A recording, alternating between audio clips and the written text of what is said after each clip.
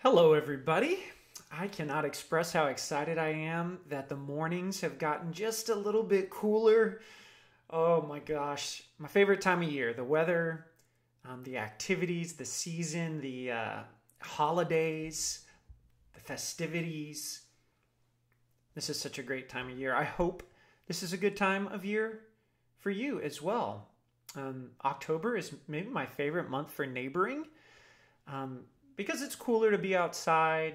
There's usually National Night Out when you can meet neighbors, have a good excuse to gather. But then Halloween, Halloween, we need Halloween in our communities. It's a great chance to connect with our neighbors.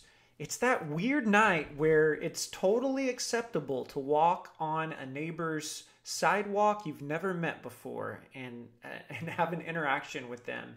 And it offers the opportunity to forge connections that didn't exist before that can be followed up with after when it's once again awkward and strange to neighbor. It's the one year it's totally one part of the year it's totally ex- uh, acceptable. So um, one of the great times to connect with God beyond the walls of the church and our communities. But uh, today I am excited to continue with the book of Luke. But first, I want to welcome everybody who's joining us uh, and to this audio sermon and listening to it or joining us here on the YouTube page. I also record all of these um, on video. Uh, they're available on YouTube for those who like you know, are visual learners and like to see my hands and my face when I preach. Um, but uh, very excited about you being here and, and joining us. Whether you've been a part of this community for a long time or maybe you're new, maybe this is uh, a new experiment for you to be a part of an online worshiping community. Uh, but it's a beautiful small group of people who love the Lord, love their neighbors, are trying to join God in the world in our everyday lives faithfully. Um, when we get together, we have a, a, discussion about the scriptures and how it applies to our lives. We pray together, we pray for each other.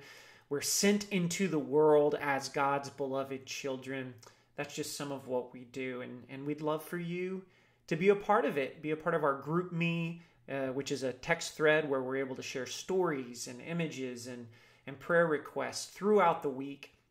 Um, and then, of course, here in San Antonio, we have a faith community that's growing, a dinner church, and other places are beginning to form communities around Central Texas and and beyond. So, welcome to all. Like I said, we're continuing with the book of Luke chapter 5. Uh, now we're verses 27 through 39. I'm very excited about this, this good news that comes to us today. So hear these words.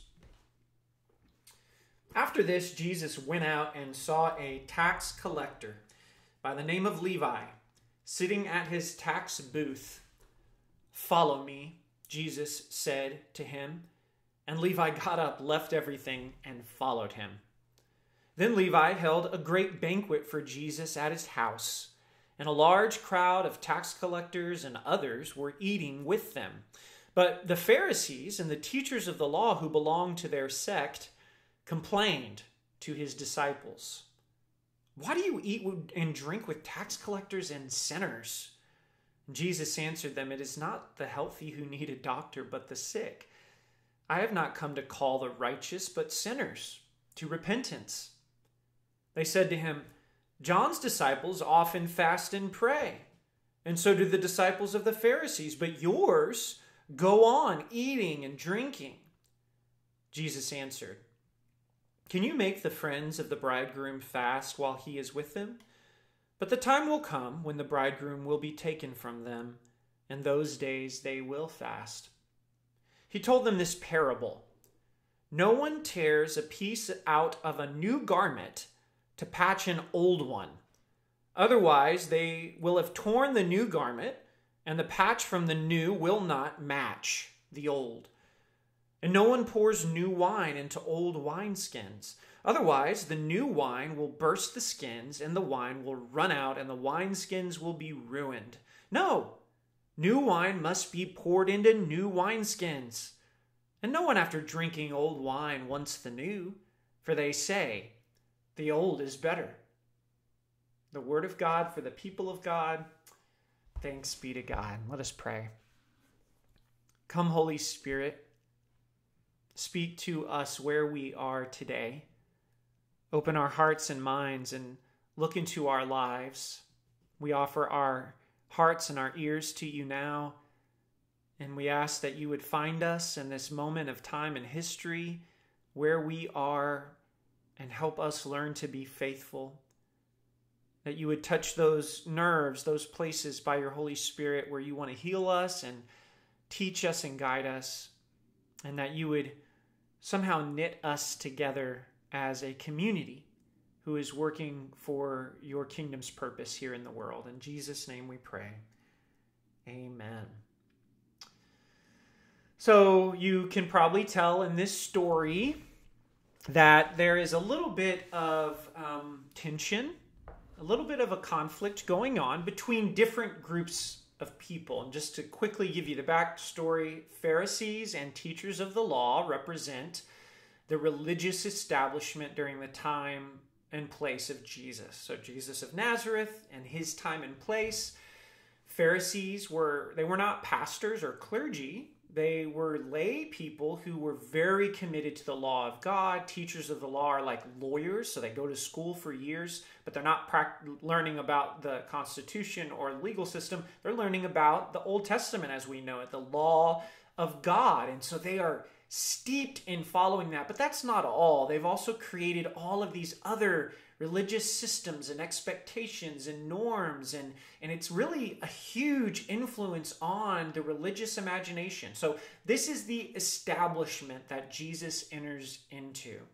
And then there are others who are not quite um, in the center of that establishment. They may be on the fringes, they may be completely outside the belonging of that religious establishment. And this would have included some of Jesus' disciples already, but certainly would have included tax collectors and other sinners. We'll put that in quotes.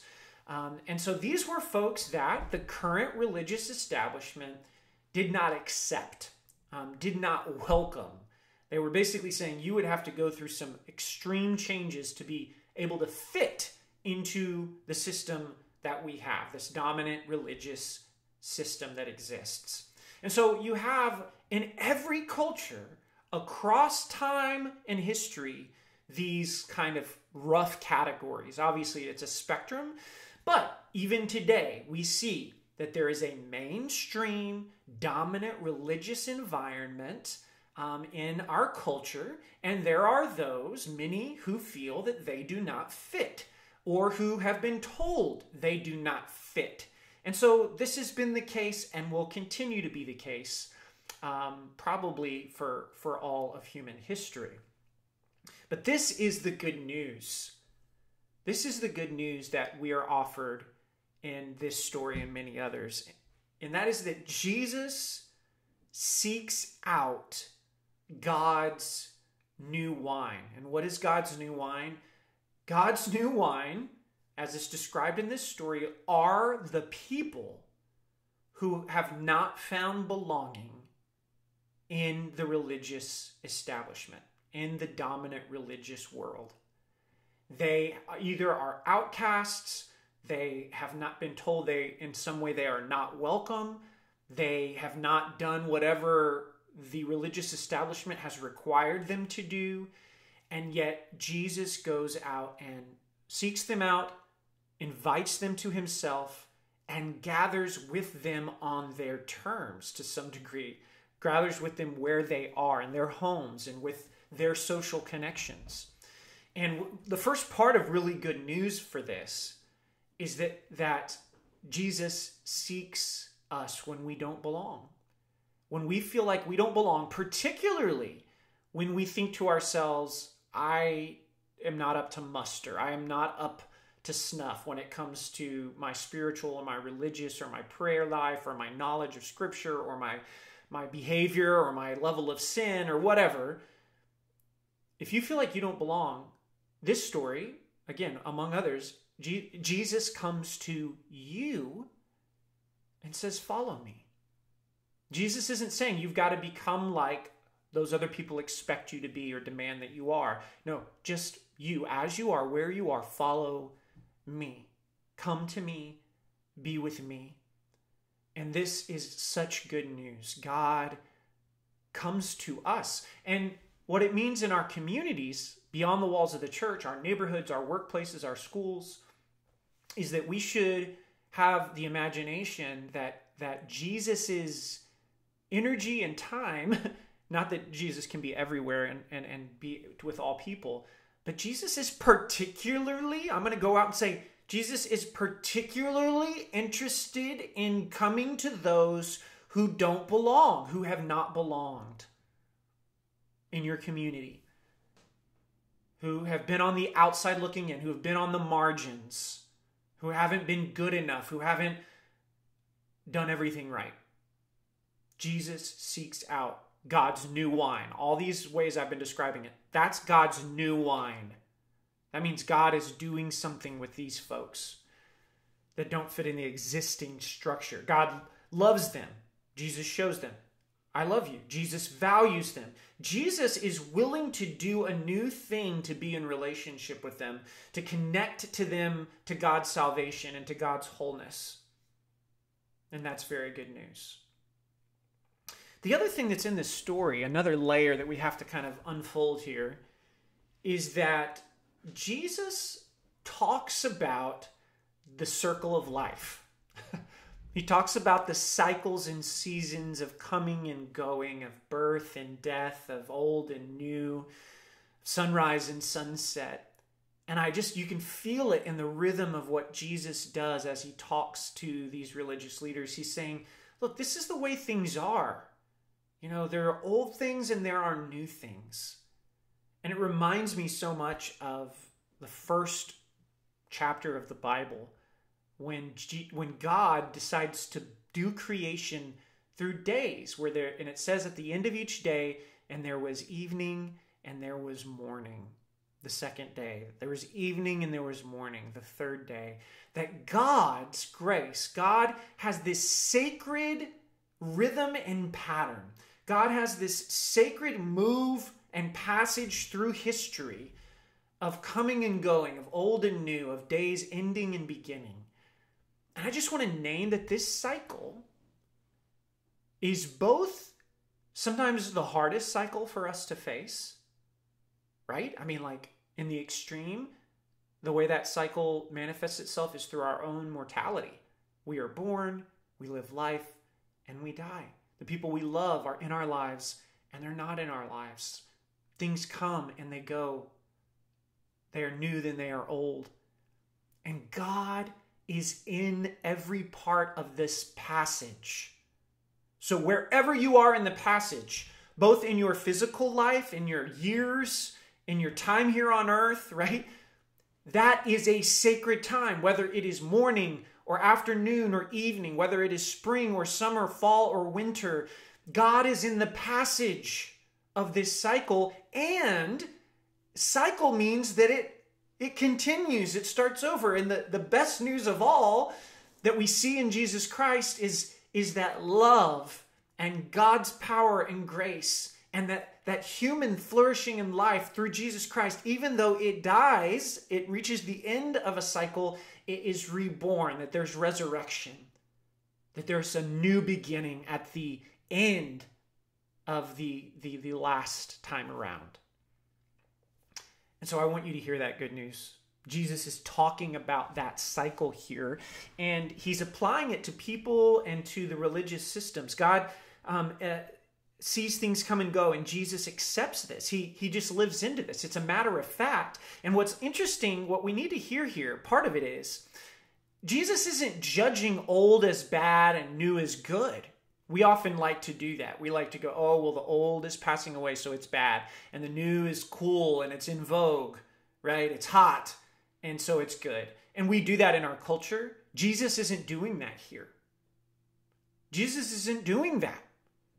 He's acknowledging that there's old and new and that there are times where those things coexist and intersect.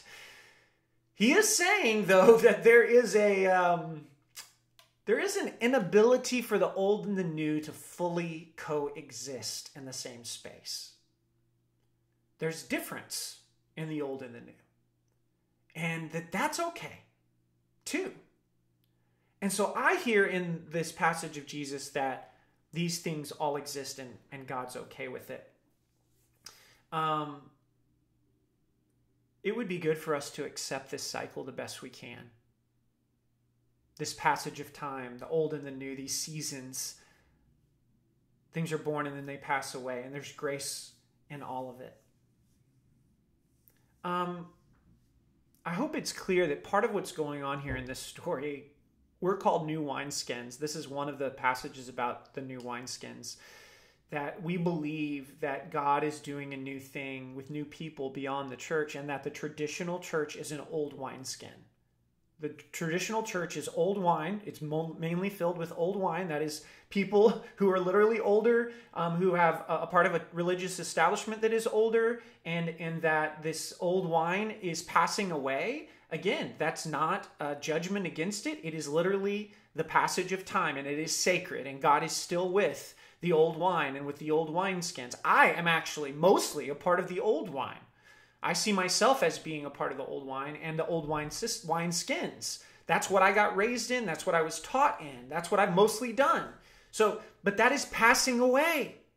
And we believe God is doing new things with new people, particularly those who have not fit in the old wineskins. And so, our neighbors, our colleagues, our coworkers, people in the world who have not been in traditional church, who have not fit into traditional ways of doing things, who have been outcast, marginalized by the old religious systems, Jesus is going to them. I hope that's all clear. Something Jesus names here is that the old wine and the old wineskins is going to feel like that new thing is weird, foreign, strange, unfitting for them. That's why he says at the end, once you've had the old wine, you go, oh, the old wine's better. So when you see the new wine taking place, the new faith communities, the new people doing things, uh, you go, well, I, I don't like this as much. I like the old wineskins. And by the way, let me say, because I know you're listening, some of our old wineskins that are a part of new wineskins, we've seen this in our own community. A lot of our online worshiping community are, are old wine people old wineskin people and they miss the old wine even though they're part of new wineskins. And by the way, here's a little whisper, a little good news. And Jesus never says that old wine can't go into new wineskins. He says new wine can't go into old wineskins, but he doesn't say that old wine can't go into new wineskins. And part of the reason for that, in the main difference between this new and old stuff is that the new thing is still unsettled, developing, dynamic, changing, and growing. And it tends to be that the old thing is more settled, more permanent, um, more unchanging, more static, more stable. That's really the difference. And we totally see that right now. The traditional church wants to stay stable, wants to stay static, wants things to be the way they've been. And the new wineskins and new wine is changing. It is dynamic. And I'll be, as an old wineskin person, I am often uncomfortable with and I'm disrupted by the, how, how unsettled and unsettling and dynamic and changing the new wine is. And so these Pharisees and teachers of the law see this moment in a tax collector's house full of sinners and tax collectors, sees what Jesus is doing, feasting and partying with them instead of fasting and doing things the way they expect it to be done. They're uncomfortable with it. They see that it's unsettled. They're like, what's going on here? We don't like this. We're uncomfortable with it. And Jesus says, Of course you are. You're old wineskins. You're old wine. That's the way it is. It's not a judgment against you, it's the way things are.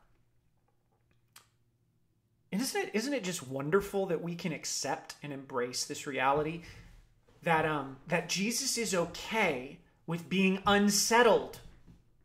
In fact, Jesus chooses to go to those who are still dynamic and in formation.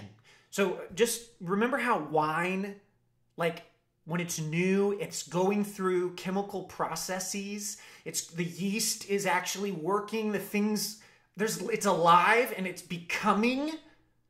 Jesus is not just okay with that. He he wants to be a part of that.